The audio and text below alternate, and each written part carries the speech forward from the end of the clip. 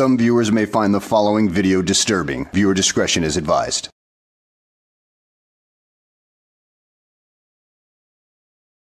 Well, hello and welcome back to the channel, everybody. In today's video, we find ourselves in Michigan, where a uh, no-nonsense judge deals with a sovereign citizen who, well, just can't seem to get anything right. And, uh, well, he almost ends up incriminating himself toward the end on some for something else and well the judge has to put an end to that right then and there before he goes off the deep end so let's go ahead and sit back relax and enjoy the show Hi, good afternoon, Mr. Peltola. Can you hear me adequately?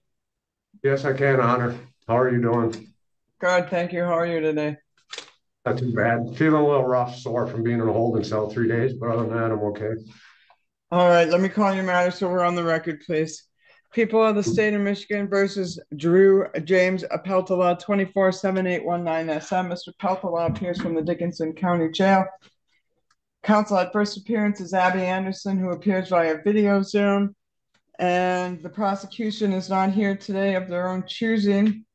Uh, Mr. Pelto, before we went on the record, indicated he could hear me adequately and he was all right, other than being sore from being in the holding cell for three days.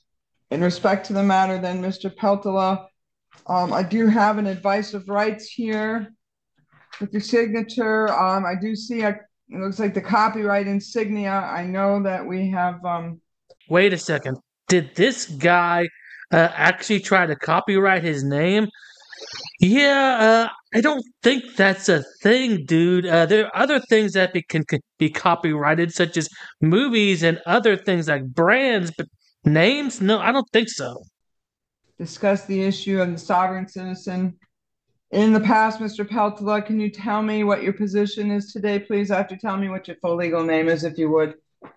Okay, uh, I'm Appalachian, known as all capital letters Drew James Peltola with a common law copyright as a sui juris human as a non-citizen, a not American national. That's defined in the United States Code. I'd like to have my lawyer finish talking. She told me not to talk unless she could talk first.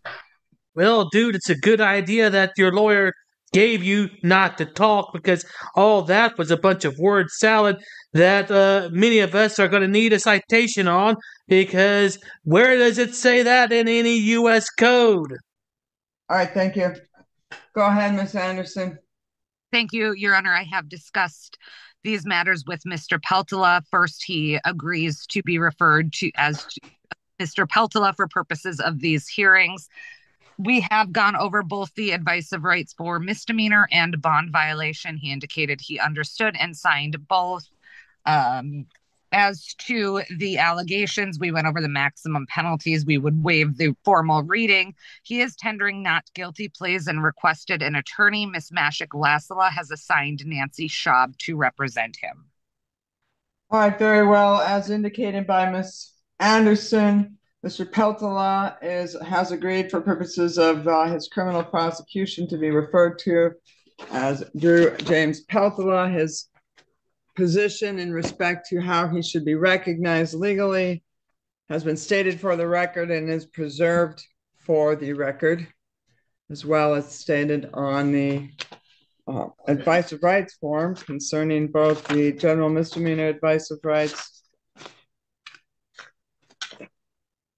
Um, although the bond violation advice of rights doesn't so indicate, the court will recognize his position for purposes of both advice of rights. Concerning the matter, then, um, is this a good mailing address for you, Mr. Peltola, on River Street in Niagara?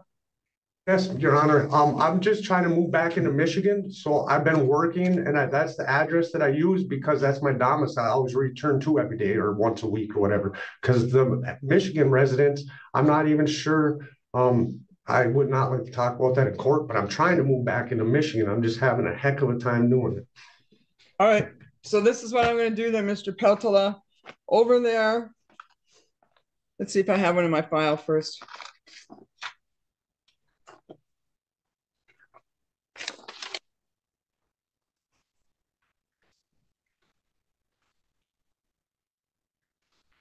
Miss Anderson, I don't see a waiver of extradition. It sounds like he's gonna go, need to go back and forth to Wisconsin, and we'll address that momentarily.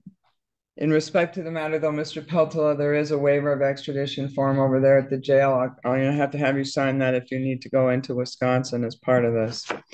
In regard to the matter then, what? Um, how do you want me to sign this? I'm, if you want my copyright, do you want me sui juris? Just so you understand, like I wasn't trying to harm you or any other woman. Well, I don't, Um, I don't do you want my feel that you, copyright on this? go ahead. Go ahead, I'm You want sorry, I didn't mean to interrupt. Go ahead, go ahead. Do you want, my- What? do you want my copyright on this? Do you want me as a human or me as a sui juris, non-citizen national? allow me to translate what this moron is saying into uh, the average sovereign citizen mumbo jumbo because this is a bit different. Uh, he's basically asking, Do you want me to sign this as my corporate self or my living self? Which is still a bunch of bullshit to begin with because there is no corporate self, there is only yourself. So, therefore, just sign your damn name on it, you moron. I just want your signature and the date and whatever you want to put in addition to that is fine with me. All right, thank you. Can I have a pen?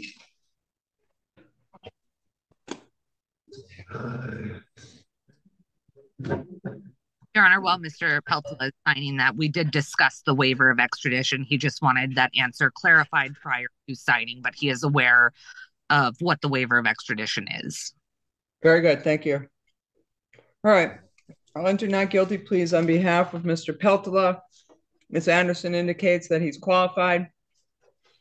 And he is being assigned by MIDC. Ms. Schaub, we're gonna set bond violation hearing. We might as well do the pretrial at the same time. And a jury trial as follows.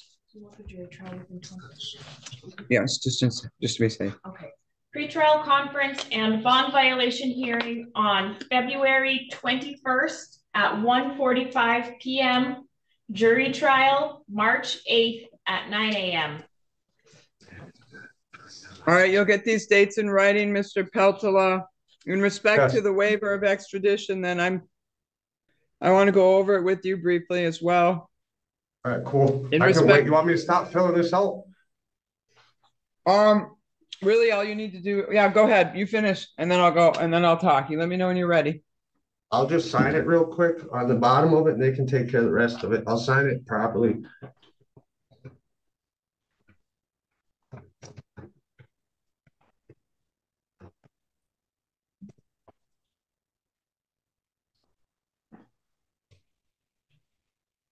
I wonder what kind of gibberish he's putting on that paper right there. Because when I sign anything, it generally just takes me two or three seconds to put my John Hancock on there and be done with it. It doesn't take me, well, two or three minutes to do so.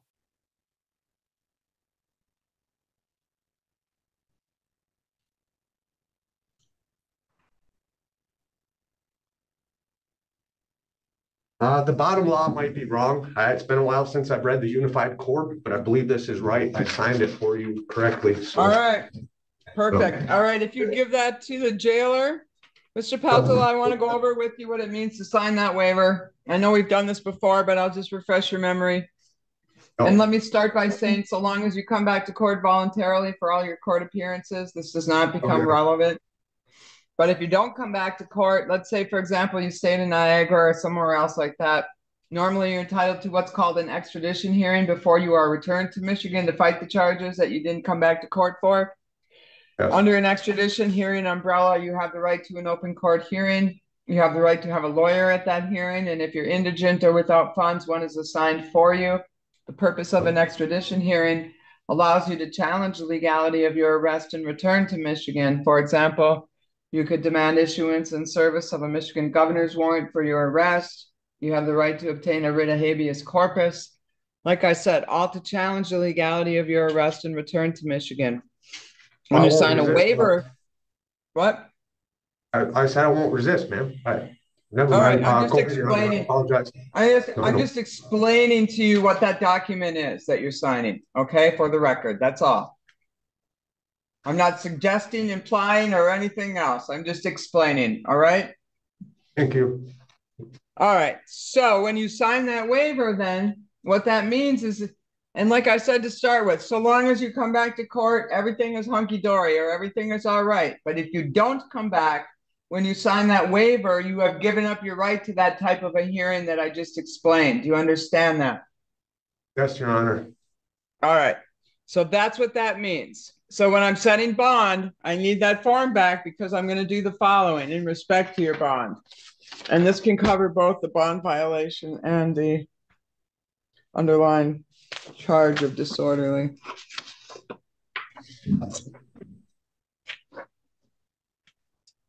All right. First off, you must sign a waiver of extradition as a condition of your bond. So long as you do, you can go back and forth between Michigan and Wisconsin for residency. Are there other reasons, Mr. Peltola? Do you work there? Uh, do you have court appearances, medical treatment, family visitation, anything like that? Uh, my family visitation almost every day, my mother, and I have right. a court issue that got pushed back, I believe like five months, six months, something like that. I gotta find out the exact date of it. Residency, court appearances, family visitation. If it expands beyond that, talk to your lawyer first, okay? Yes, Your Honor. All right, you are not to purchase, possess, or consume alcohol or non-prescribed controlled substances. You must submit to random PBTs and drug screens as a condition of your release. Don't go into Yes. businesses that sell alcohol for use inside, such as bars and taverns. Um, now, do you have a medicinal marijuana card? I do not, I, I did at one time, Your Honor, but at the current moment, I do not. All right, so for the moment then, Mark, uh, both medicinal and recreational marijuana use and possession are prohibited until further order of the court. That changes, you make sure and get it to your lawyer who would bring the issue to the court if you got your card back. In regard to the matter then, um, stay off of the property of one seven one four East Seventh Avenue in Norway. Yes, Your Honor. Um, do not engage in any assaultive, threatening, harassing, or intimidating behavior towards any person while you are on bond. If you relocate for any reason, you must provide the court with an updated address and phone number within seven days of any change. I am going to set the bond all right, so you are in one of those unique positions, Mr. Peltola, where you have come before the court for your arraignment. Already behind you, or what you're being arraigned on, is both the underlying charge and a bond violation. So usually people will have an underlying charge, and then whatever, week two, three later, they come back with the bond violation. And when people are arraigned, I always give them a talk and tell them that if you come back with a bond violation, you're going to make it really hard for me to say, gee, I should let you back out into the community again. You, however, have not had that talk. You are having it today, and you are having it on both the underlying charge and the bond violation. So, my pep talk is this, Mr. Peltola I'm going to set the bond accordingly and give you the benefit of the doubt. But if you come back in here with another violation, I'm going to say, gee, Mr. Peltola, I had the talk with you and you went out and did the same thing I told you not to do. So I'm telling you, don't violate your bond and make me have a reason to keep you in custody pending resolution of your case. I'll set your bond right now at 1000 PR. That's on both the bond violation and the underlying charge. They're going to let you back out, Mr. Peltola. Don't go back out and start drinking and do this again because like I said, you'll leave me no choice. All right. Oh, Your Honor, I, honest God, I'm not even on drugs anymore. I wasn't sick. The only thing, the only reason. Hold, Um, hold on, is- hold on, hold on, hold on. Nope. I can see Miss uh, Anderson almost doing cartwheels back there. She does not want you to talk until you have a chance to talk to your lawyer. Is that right, Miss Anderson? That is correct, Your Honor. Thank you.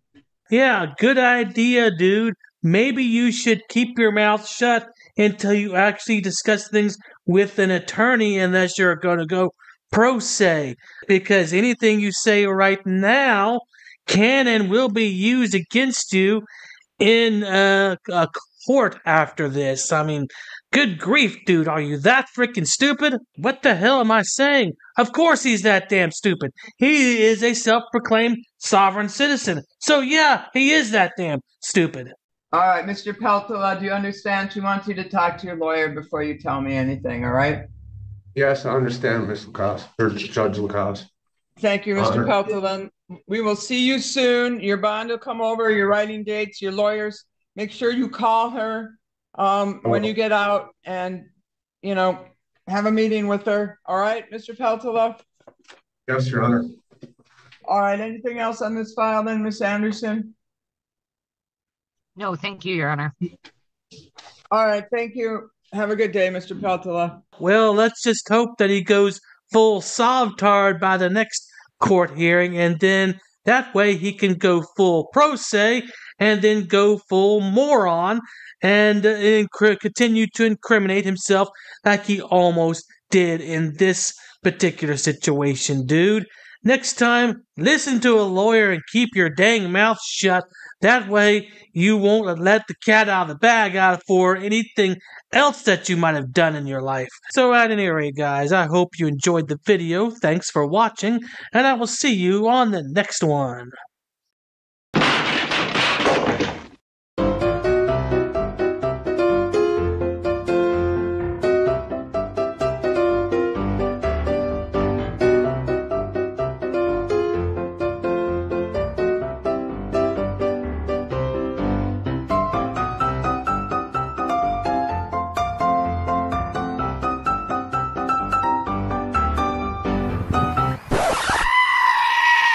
Dude, so there's no way I can get in, bro?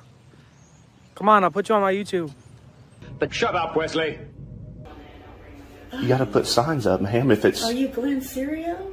who's that?